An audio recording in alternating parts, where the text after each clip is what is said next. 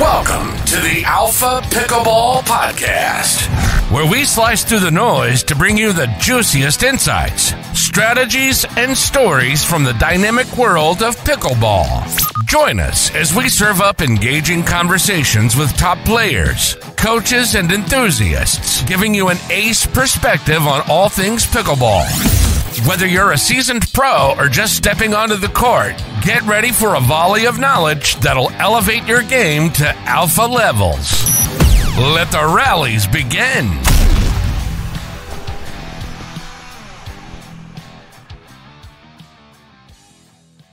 All right. Welcome again to the show. I'm your host, Tats, and today's guest is Ryler DeHeart, you know, ATP Tour um, professional tennis player, professional pickleball player.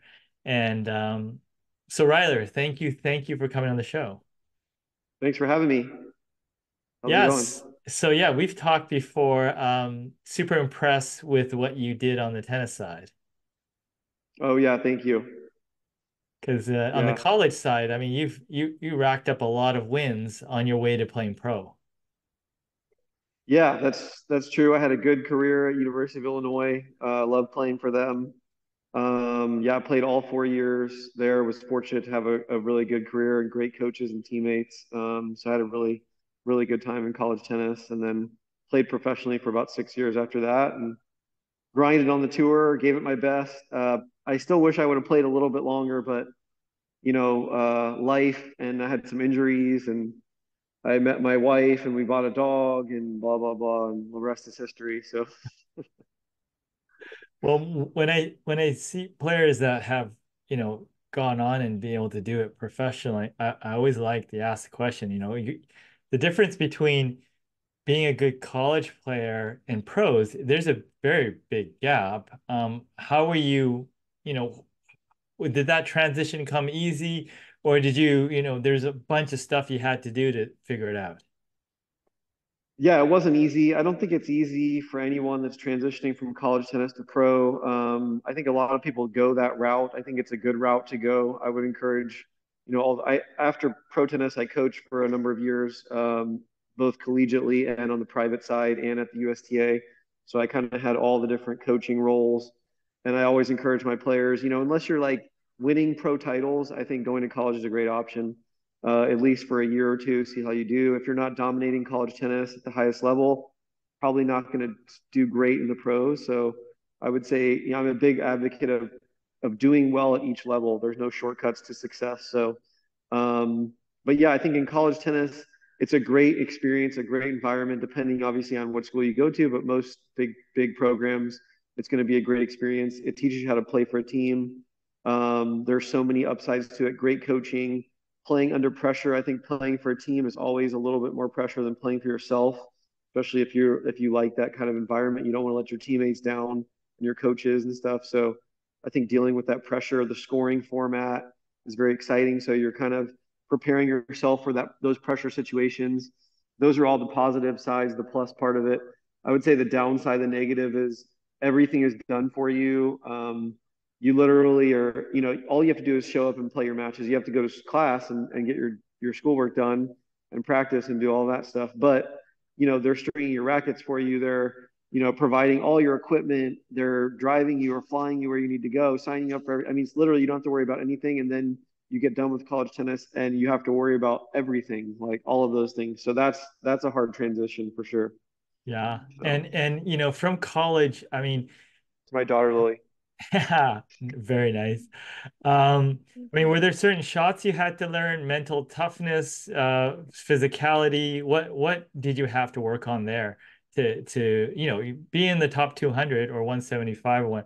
It's not an easy mm-hmm. thing, especially in singles. Yeah, no. Um, I I think my game, you know, was good um, in college. I think I think the physical part was big for me.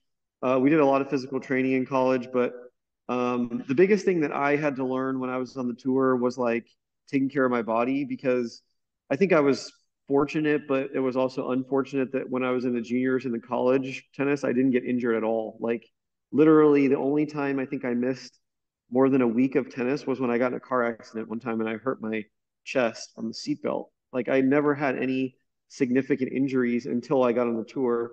And that may have been because the tour was just so much more of a grind, so many more matches. But I think it was also, I kind of took that health for granted and I wasn't doing enough of the preventative stuff like the rehab, the prehab, all those things to keep myself healthy. And then once I got on a tour, I think after the first couple years, my body started breaking down a little bit more. And that was when I had to learn how to take care of my body. And I still struggled with that at the end of my career. That's kind of why I stopped because I just had a bunch of different injuries and um, I didn't have anyone to travel with me and wasn't making enough money where I felt like I could like do the proper things I needed to do, see the physios, do all that kind of stuff that I needed to do to stay healthy, um, get the treatment that I needed. So that was tough. But if I go back and do it again, I think I would do a much better job with the, all those things, taking care of my body, um, and maybe have like some sort of like physical therapist or someone that I worked with on a regular basis. I think that helps a lot because it's just such a grind out there, especially playing singles. Like you said, it's so physical.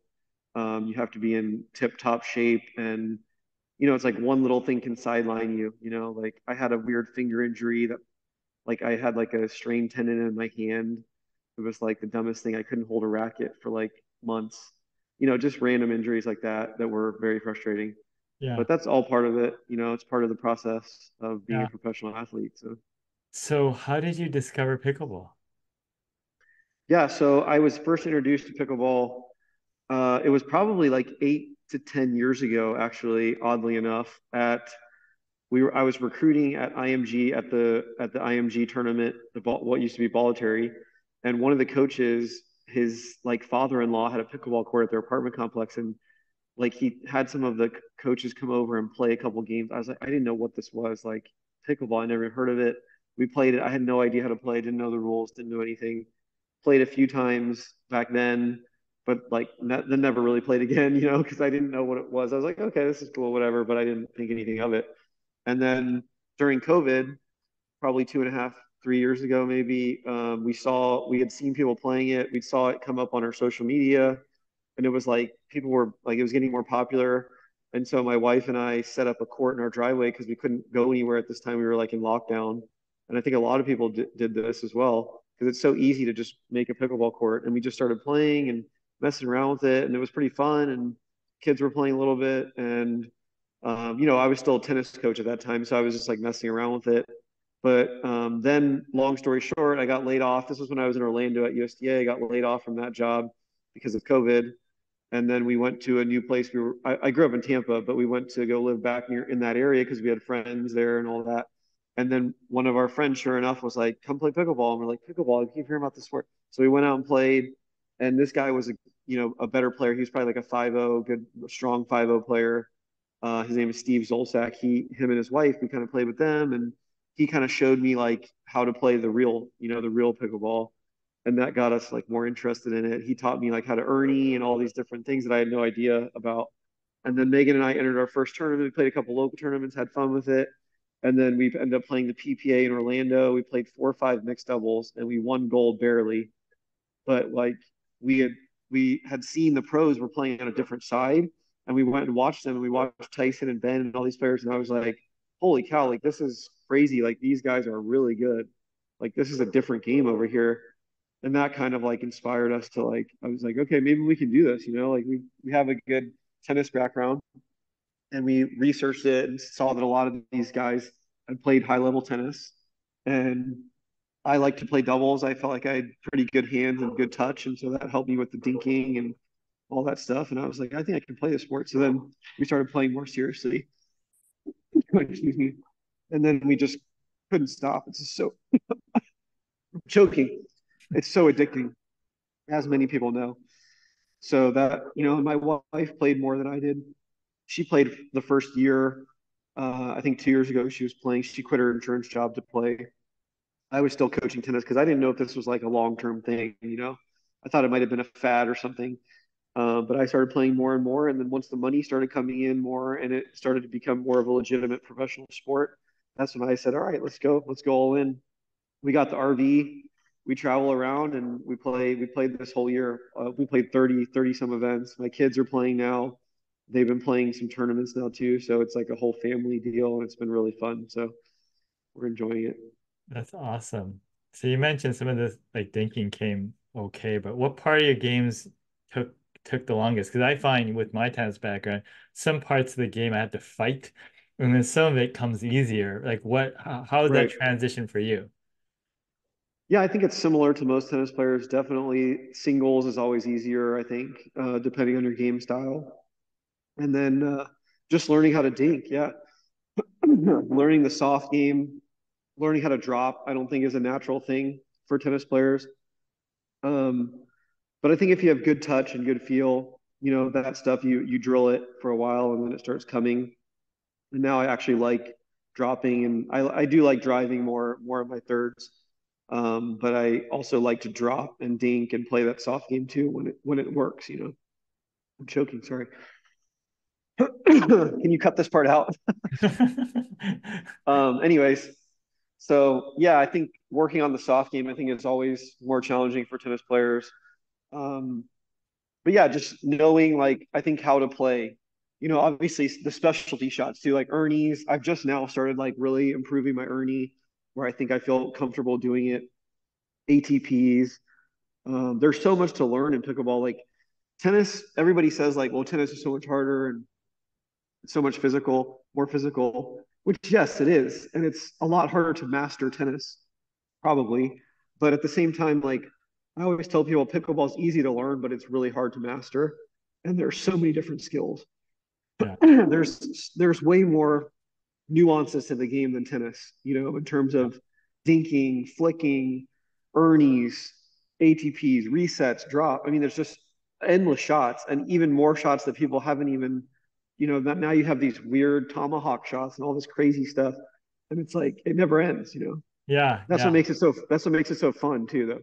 Absolutely. When I look at your game and I just look at how simple you've kept it, you know, because like you said, there's so many people in so many different shots that people attempt, but you've accomplished a lot already by keeping the game very, very simple. I mean, was that a deliberate strategy? Did someone coach you on that, or that just you decided that, you know, I'm just going to get good at the fundamentals? Because you, you know, I don't see you pull out lots of trick shots. I've seen you fall on the ground and get balls and little highlight reels, but you keep your game very simple. Yeah. Was that like a deliberate strategy?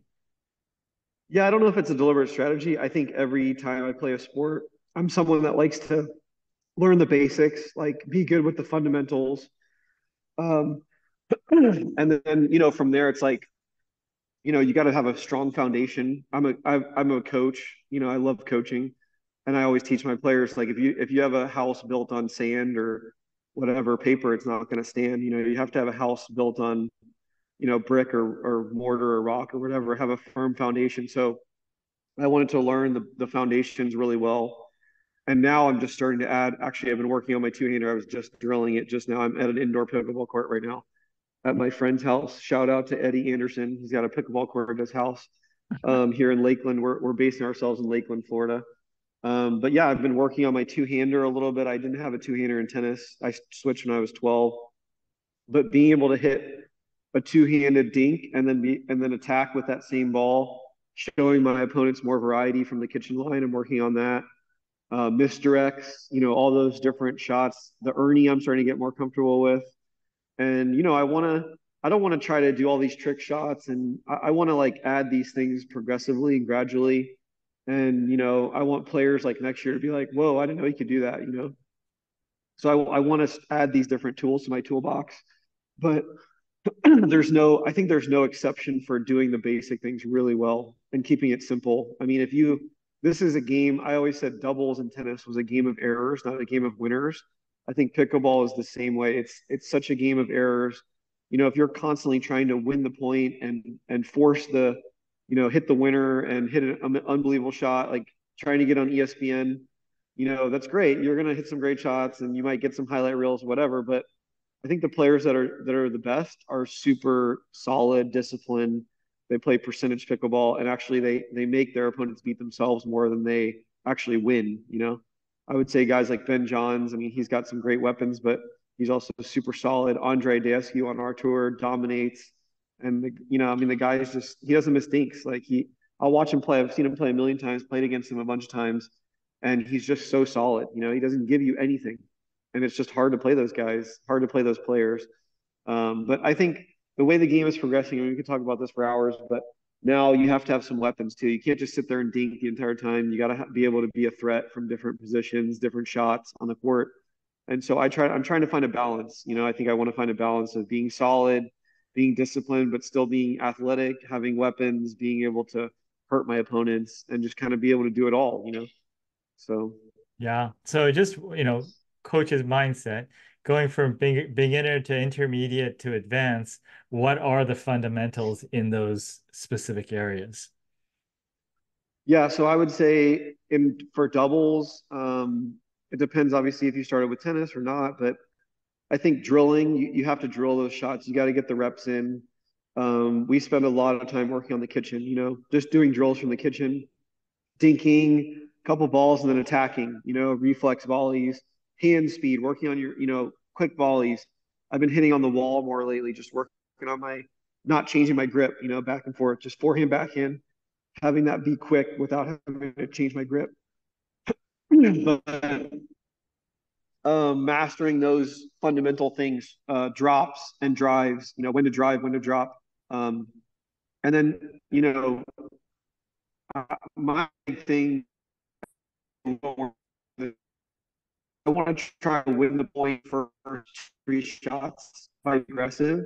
But then if I don't, I'm gonna go, you know, to the kitchen and I'm gonna settle in and try to play solid. You know, obviously it depends on you who you play, but I think you know getting those get making those first two or three shots and putting pressure on your opponents is huge.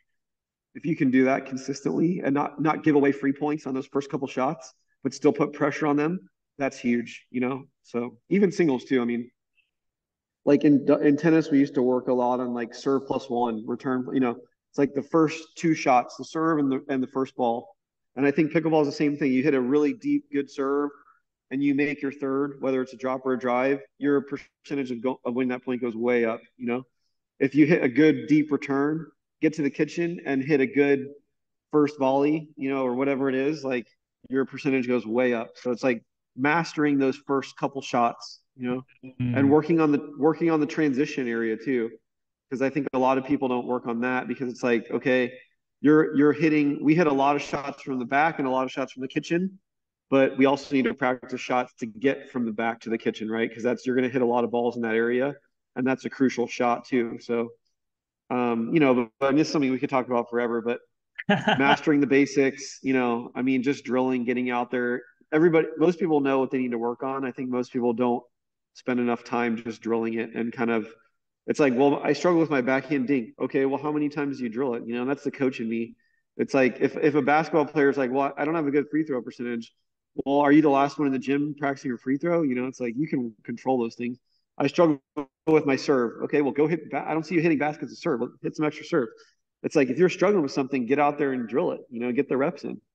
So we've always had that that mindset. My wife is loves to drill too. So you know, we're out there for hours. I mean, we're it's it's eight thirty over here, and we we just stopped drilling, and we're probably going to drill a little bit more. Um, I had a long day, obviously, like, but but yeah, I mean, there's no, it's not like drill this for this amount of time and then play rec games the rest. I mean, it's like we we we drill a lot more than we play for practice. So yeah, for sure. Um, what are some fun stories, you know, with pickleball? So unexpected stories that you sort of encountered? Geez, that's tough. Um, I mean, MLP for me was super exciting this year. Um, had a good run with Chicago Slice. We won the first part of the season. Uh, winning that was pretty exciting. We in San Clemente at Lifetime Fitness, pretty pretty good crowd there. Um, that was that was definitely a cool experience. Um, a, a, random one, like my wife and I don't really play mixed doubles anymore because it's tough playing with your wife. But we did have a good I, what I love about pickleball, and I'll say this, I want to say this on every podcast I go on, is the come around backdraw. I think it is the best thing in sports, and people want to get rid of it. PPA got rid of it. APP is getting rid of it. Um, but hey, there's no better story in sports than losing first round and then coming all the way back around and winning the tournament. You know, like there's just nothing better. And so, uh, you know, my wife and I played a mixed doubles tournament. Delray was a like a lower level pro money tournament. We lost this team. I think it was like I don't know, second or third round. And like I was so motivated to come back and I wanted to play them again. Sure enough, we came all the way back around and then beat them in the final, you know, and then the, and then the game of 15 and we won the tournament. And that was pretty fun. That was in, at Delray Beach like two years ago, maybe.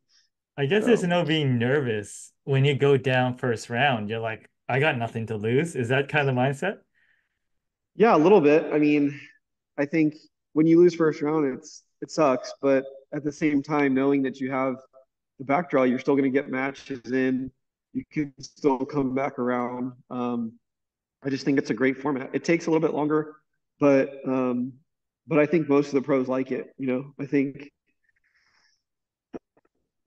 coaching me because I, I I said that I thought that's what we should do for junior tennis too because you know now the big junior tournaments, Kalamazoo, all these tournaments. If you look at the back draw, it's like half of them just pull out. They don't even play or they tank or whatever. And I was a college coach for seven years recruiting these kids, and like when I saw the kids not playing the backdraw, I'm like, why didn't you want to play the backdraw? Like, you know, that's your opportunity to come back. Like, what are you made of out there? You lose and then you're done. Like, is that the mentality that we want for these kids? You know, and I'm just like, and other people are like, well, it's pro sports. Like, you lose and you shouldn't get another chance. I'm like, okay, but that's what's great about sports. Like, it's like you lose and then what are you made of after that? Like, you come back and win some match in the back draw. And I haven't done well in the back draw lately, actually, which is disappointing. I need to get back on the you know, back, draw train. I think it's in my head that I've like Ryler because in tennis, I I I think if I remember uh, correctly, it's called consolation. So I mean, getting consolation final yes. finalists doesn't feel very good. no, it doesn't. But back draw is is a, still a draw, and you still have a chance in in a lot of pickleball tournaments. And they're they're changing this, which I'm super disappointed in this. Yeah, yeah. And I don't know if you took a poll of all the. I know I know a ton of the senior pro players and amateur players, they love the back draw. Some of the pro players don't like the back draw, but I don't know. I mean, to me, it's like, like people complaining about back draw. I'm like, it's kind of, they're kind of soft. Like, just play the back draw. Like, you know, and it's like if you're gonna if you sign up for the tournament, then play the tournament. Like back draw is part of the tournament. That's what I told the kids. I was like, you sign up for the tournament, so play the tournament. It's a matter of principle. You know, like yeah. So that's what I, I would tell people. I don't have a problem calling people out that don't play the back draw. I think you're, I think you're soft. So, there you go. You mentioned something earlier. That's fine. Hey, that's more. And I, I always say it's it's more opportunity for me. If you don't play the back draw, that's fine. More opportunity for me. Yeah. So perfect, perfect. You mentioned something that you know piqued my curiosity. You said you don't want to play wife. I get it. My wife doesn't play sports, so I don't have to have that conversation. How did that conversation go? Was it a mutual thing that you guys, you know, maybe we shouldn't team up, right? because we see each other all the time. Yeah. How did it go down? It's tough. I mean, it's kind of like the pickleball breakup. Um, we played well together. We got bronze at the U.S. Open last year, or this was that this year? Yeah, I think it was this year. Um, no, we play well together, but it's like one of those things when it's good, it's really good, but when it's bad, it's bad, you know. And it's like I I'm someone that's like very positive, more easygoing. I get competitive like everyone else, but my wife is like super competitive and so she i think it's more coming from her she's like i think she just gets too competitive out there and then she's too honest with me and it's like it just and then i get frustrated because she's not being supportive and then we just start fighting and it just goes downhill so we decided it was better to have two horses in the race and just uh you know cut our losses on that um but it's fine you know i mean i'd rather have a good marriage than a good mixed doubles partnership. So absolutely. I mean, I guess in tennis, what they call it, divorce doubles. Yeah, exactly. Yeah. so I think some people can do it. I think I could do it, but I think she struggles with it, and that's fine. It's a mutual thing. So perfect. All right. Um, I mean, anything else come to mind? Tips, um, stories, fun. You know, uh, you know, anything you want to close out with? Not that I can think of. Um, I'm just really excited about junior pickleball. It's growing a lot. Uh, my kids are seven, and my daughter's about to be nine um, in January. My my son Jr. is seven. My daughter Lily, who I showed you before, um, Lily just became the first, the youngest gold medal medal winner at APP history. She was eight years old and she got a gold medal in the 3-0 wow. in singles, and she beat some. She beat a woman that she had lost to before um, twice, and then she beat her twice in this tournament. Um, and so she's improving a lot. It's really been exciting seeing the kids come up and um, I'm just excited for junior pickleball. I think it's going to keep growing. I'm a coach, so I love coaching them, and I'm excited to have some coaching opportunities in junior pickleball. Um, I would say, oh, I guess two things are, are good to talk about. Number one, the the like rivalry between pickleball and tennis.